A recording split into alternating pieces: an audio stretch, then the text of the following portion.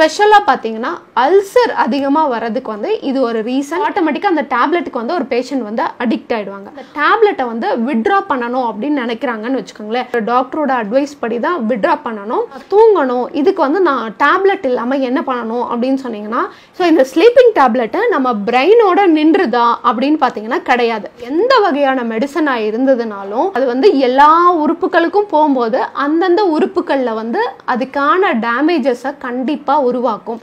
Hi friends நான் உங்கள் doctor Bharathi. ஏல் Arogya spine and bone care சென்டர்லேருந்து மீண்டும் உங்களை சந்திக்கிறதுல ரொம்ப சந்தோஷங்க. நிறைய பேஷண்ட்டு அதுவும் ஸ்பெஷலாக இந்த ஏஜ்டான பேஷண்ட் எல்லாமே நிறைய பேர் வந்து என்கிட்ட என்ன கேட்பாங்கன்னா டாக்டர் நான் நல்லா தூங்கணும். தூங்குறதுக்கு ஏதாவது டேப்லெட் கொடுங்க. எனக்கு தூக்கமே வர மாட்டேங்குது ராத்திரி எல்லாம் அப்படின்னு சொல்லுவாங்க. இந்த தூக்க மாத்திரையினுடைய பக்க விளைவுகள் தெரியாமல் இருக்கிறதுனால தான் நிறைய பேஷண்ட் வந்து இந்த மாத்திரையை சாப்பிட்டா நமக்கு தூக்கம் வரும். அதனால நம்ம நிம்மதியாக ஒரு நாள் தூங்கலாம் அப்படின்னு சொல்லிட்டு நினைப்பாங்க. ஆனால் இந்த டேப்லெட் வந்து பல நாள் பல வியாதிகளை வர வச்சு உங்களை தூங்க விடாம பண்ணும் அப்படிங்கிறது வந்து உங்க யாருக்குமே தெரியாது. அதை தான் நான் இன்னைக்கு வந்து எக்ஸ்பிளைன் பண்ண போறேன். ஸோ ஸ்லீப்பிங் டோஸ் வந்து யாருக்கெல்லாம் வந்து கொடுப்பாங்க டாக்டர்ஸ் அப்படின்னு பார்த்தீங்கன்னா ரொம்ப ஸ்ட்ரெஸ்ஸாக இருக்க பேஷண்ட்டுக்கு ரொம்ப ஆங்ஸைட்டியாக இருக்க பேஷண்ட்டுக்கு இல்லை சைக்காலஜிக்கலாக ஏதாவது ப்ராப்ளம் இருக்க பேஷண்ட்டுக்கு வந்து இந்த ஸ்லீப்பிங் டேப்லெட் வந்து கொடுப்பாங்க. அது கொடுத்தோம்னா என்ன ஆகும் அப்படின்னு பார்த்தீங்கன்னா ஜென்ரலாக வந்து இந்த டேப்லெட்ஸ் எல்லாமே வந்து ஓரலாக அதாவது வாய் வழியாக எடுக்கிற மாதிரி இருக்கும். ஸோ வாய் வழியாக எடுக்கும்போது என்ன ஆகும்னா டைரெக்டாக நம்மளுடைய வயிற்று பகுதி மற்றும் குடல் பகுதி போய் சேரும்.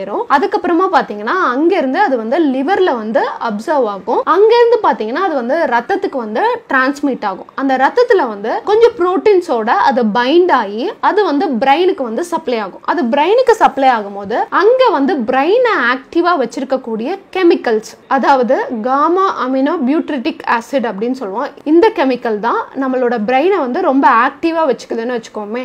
இந்த கெமிக்கலை வந்து செக்ரீட் பண்ணுற அந்த செக்ரீஷனை வந்து கம்மியாக்குறது தான் இந்த மருந்துனுடைய வேலை. ஸோ ஆட்டோமேட்டிக்காக இந்த கெமிக்கல் வந்து கம்மி ஆகும்போது என்ன ஆகும்னா பிரெயின் வந்து கொஞ்சம் கொஞ்சமாக ஸ்லோவாக ஆரம்பிக்கும்.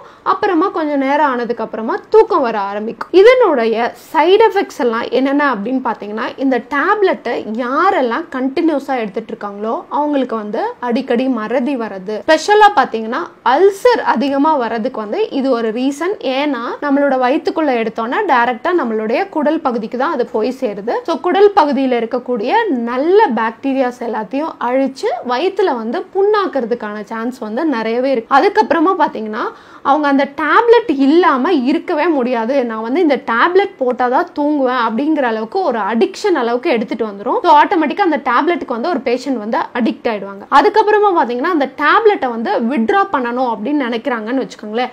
விட்ராவல் சிண்ட்ரோம் அப்படின்னு சொல்லிட்டு ஒரு கண்டிஷனே இருக்கு. அதாவது ஏதாவது ஒரு மெடிசனை வந்து நம்ம கண்டினியூஸாக எடுத்துட்டு இருக்கோம். அதை விட்ரா பண்ணுறோம் அப்படின்னா அவங்களுக்கு வந்து அது ஒரு வியாதியாகவே மாறிடலாம். ஸோ இந்த டேப்லெட்டை வந்து எப்படி வந்து விட்ரா பண்ணணுங்கிறது அது ஒரு முறை இருக்கு. அதுபடி தான் ஒரு ப்ராப்பரான ஒரு டாக்டரோட அட்வைஸ் படி தான் விட்ரா பண்ணணும். இந்த டேப்லெட்டை வந்து எடுத்துட்டு இருக்கிறது கெடுதல்னாலும் இப்போ எடுத்துட்டு இருக்கிறது கெடுதல்னு சொல்றாங்களே அப்போ நான் நாளைக்கே விட்ரா பண்ணிக்கலாமா? எடுக்காம நிறுத்திக்கலாமானா? அது கூடாது. ஸ்டெப் பை ஸ்டெப்பாக தான் அதை வந்து கொஞ்சம் கொஞ்சமாக அதனோட டோஸை வந்து கம்மி பண்ணி தான் எடுத்துட்டு வரணும். ஸோ ப்ராப்பராக ஒரு டாக்டருனுடைய அட்வைஸ் படி அதை வந்து கம்மி பண்ணி எடுத்துட்டு வந்துக்கோங்க. அடுத்ததாக பார்த்தீங்கன்னா இப்போ வந்து நான் தூங்கணும் இதுக்கு வந்து நான் டேப்லெட் இல்லாமல் என்ன பண்ணணும் அப்படின்னு சொன்னீங்கன்னா இப்போ ஜென்ரலாக வந்து ஒரு ஐம்பது வயசு இல்லை அறுபது வயசுக்கு மேற்பட்டு இருக்கிறவங்களுக்கு வந்து இந்த தூக்கத்தினுடைய தன்மை வந்து நார்மலாகவே எல்லாத்துக்கும் கம்மியாகும். இப்போ ஒரு சின்ன குழந்தை தூங்குது இல்லையா? நம்ம ஒரு குழந்தை பிறந்த குழந்தை தூங்குற டைமுக்கும் நாம நார்மலாக தூங்குற டைமுக்கும் வித்தியாசம் இருக்கு இல்லையா? அப்போ ஏஜ் ஆகும்போது ஆகும்போது நமக்கு என்ன ஆகும்னா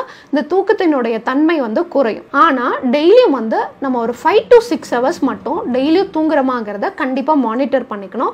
So five to six hours தூங்குனீங்கன்னா போதும். ஸோ நிறைய பேர் என்ன நினைப்பாங்கன்னா நான் கா சாயங்காலம் ஒம்பது மணிக்கு படுத்தேன் அப்படின்னா காலையில் வந்து ஒரு ஆறு மணி வரைக்கும் ஃபுல்லாக தூங்கணும் அப்படின்னு நினைக்கிறாங்க. அது வந்து வயதானவர்களுக்கு வந்து ரொம்ப பாசிபிளே கிடையாது. ஒரு விஷயம் என்னன்னா வயசானோம்னா நிறைய நமக்கு மனசுக்குள்ள வந்து ஒரு இன்செக்யூரிட்டி ஃபீல் ஆயிடும். என்னன்னா நமக்கு வயசாயிடுச்சு நம்ம வேலைக்கு போக கிடையாது நமக்கு இன்கம் எப்படி இருக்கும் நம்ம பிள்ளைங்கெல்லாம் நம்மளை நல்லா பார்த்துக்குவாங்களா? நிறைய விஷயங்கள் அது போக பார்த்தீங்கன்னா அவங்களுக்கு நிறைய வியாதிகள் இருக்கலாம் சுகர் இருக்கலாம் பிபி இருக்கலாம். ஸோ இதுக்கெல்லாம் மெடிகேஷன் எடுத்துட்டு இருக்கலாம். நிறைய ஒரு இன்செக்யூரிட்டி ஃபீலிங் அதிகமாக இருக்கிறதுனால அவங்களுக்கு ஜென்ரலாகவே ஸ்ட்ரெஸ்ஸும் அதிகமாக இருக்கும்.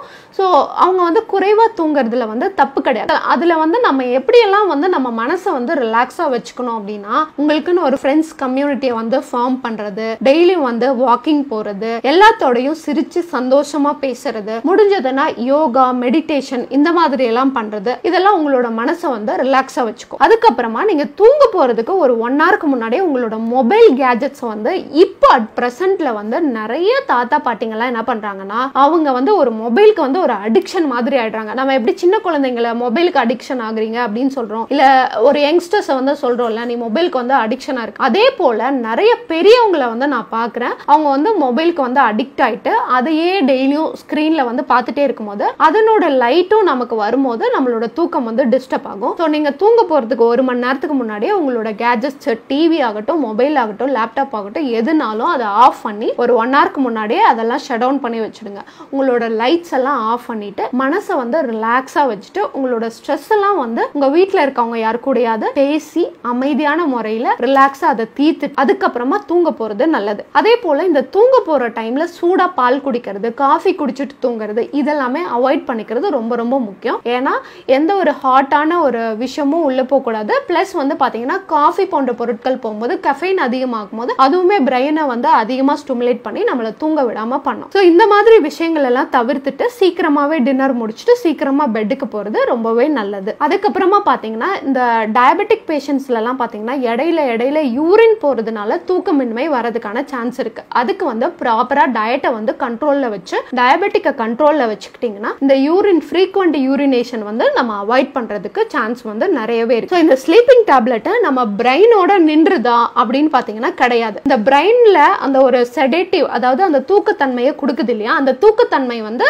ஒரு குறிப்பிட்ட அவர்ஸ் கழிஞ்சோன்னே ஸோ அந்த தூக்கத்தன்மை வந்து குறிப்பிட்ட அவர்ஸ் ஆனதுக்கு அப்புறமா என்ன ஆயிடும் நம்ம மறுபடியும் நார்மலாக ஆக்டிவாக ஆகுறோம் இல்லையா? ஸோ அது எப்படி அப்படின்னு பார்த்தீங்கன்னா நீங்கள் உள்ளே எடுத்துக்கக்கூடிய மெடிசன் வந்து யூரின் வழியாக கிட்னி மூலமாக வெளியில் வருது. ஸோ இந்த நீங்கள் எடுத்துக்கக்கூடிய மெடிசன் வந்து உங்களுடைய குடல் பகுதிக்கு போகுது லிவருக்கு போகுது ரத்தத்துக்கு போகுது ரத்தத்துக்கு போய் பிரெயின் மற்றும் எல்லா உறுப்புகளுக்கும் சப்ளை ஆகுது. அது மட்டும் இல்லாமல் வெளியில் வரும்போது கிட்னி வரைக்கும் போய் அது யூரின்ல வந்து வெளியில் வருது. ஸோ எடுத்துக்கக்கூடிய எந்த வகையான மெடிசனாக இருந்ததுனாலும் அது வந்து எல்லா உறுப்புகளுக்கும் போகும்போது அந்தந்த உறுப்புகளில் வந்து அதுக்கான டேமேஜஸை கண்டிப்பாக உருவாக்கும். அதுவும் கண்டினியூஸாக எடுக்கிறோம் போது நம்ம டெய்லியுமே அந்த கெமிக்கலை வந்து உள்ளே எடுத்துகிட்டே இருக்கோம். அப்போ ஒரு நாள் வந்து ஒரு ஒரு உறுப்பாக டேமேஜ் ஆகிறதுக்கான சான்ஸ் வந்து நிறையவே இருக்குது ஸோ மேக்ஸிமம் முடிஞ்ச அளவுக்கு இந்த மெடிசனை வந்து தவிர்க்கிறது நல்லது. ஸோ தூக்கம் இல்லை டாக்டர் மெடிசன் தாங்க அப்படின்னு சொல்லிட்டு தயவு செஞ்சு எங்கிட்ட வந்து கேட்கக்கூடாது. தூக்கம் இல்லை அப்படின்னா நம்ம மெடிடேஷன்